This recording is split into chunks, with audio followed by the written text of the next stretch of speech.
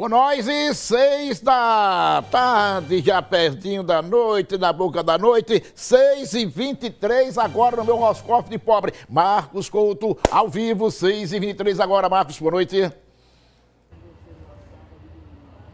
6h23, Gilmar, boa noite para você, boa noite a todos que acompanham o Cidade Alerta Sergipe. Gilmar, uma grande preocupação para quem mora em Itabaiana e quem vai lá para a festa do caminhoneiro e para a trezena dos motociclistas, que começa agora domingo.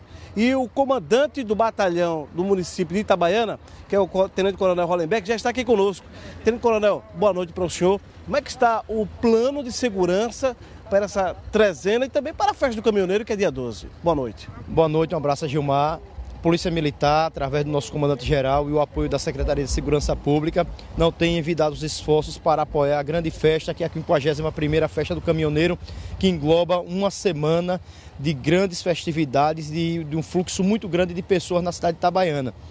Portanto, nós preparamos todo o planejamento que vai contar com o apoio de tropas especializadas como o GAT, o GETAM, o GTA, além da Força Tática do 3 Batalhão, da nossa equipe de motopatrulhamento e de todos os oficiais e praças que compõem o 3 Batalhão nos 14 municípios. Nós queremos iniciar essa operação já amanhã, com ações extraordinárias. Estaremos na madrugada de sábado, domingo, é onde começa a festa propriamente dita, e iremos atravessar toda a semana no momento que vai culminar com as três noites, que é sexta, sábado e domingo, 11, 12, é, dia 10, 11 e 12, que é a festa na Praça Tervino Mendonça, e a procissão do dia 13. Para isso, a Polícia Militar vai empregar um efetivo muito maciço, visando a paz e tranquilidade naquela localidade. Ou seja, isso descarta essa especulação que não haveria um policiamento ostensivo nessas festas. Inclusive, chegou ao Cidade Alerta Sergipe, a nossa produção, que é, alguns motoqueiros, algumas pessoas tiram o silencioso das motocicletas depois da festa e faz o maior barulho. As pessoas estão apreensivas e preocupadas. O que, que a polícia pode orientar e passar de tranquilidade para o público? A Polícia Militar já está com todo o seu planejamento pronto, inclusive quero aqui ressaltar a integração que há do terceiro batalhão e da Delegacia Regional de Itabaiana, na pessoa do delegado Marcos Garcia, doutor Eurico e toda a equipe, que nós estamos irmanados, coesos, visando a combater toda a ilicitude no município de Itabaiana. Concernente a essas trezenas é, que eles denominam no momento em que utilizam de motocicletas para causar desordem, nós estaremos com o policiamento, o planejamento estratégico todo pronto, estaremos desencadeando para que todos aqueles que infringirem a lei serem culpabilizados na medida da sua é, irresponsabilidade e do seu crime cometido. Então nós vamos verdadeiramente aumentar o policiamento ostensivo e vencer essa batalha.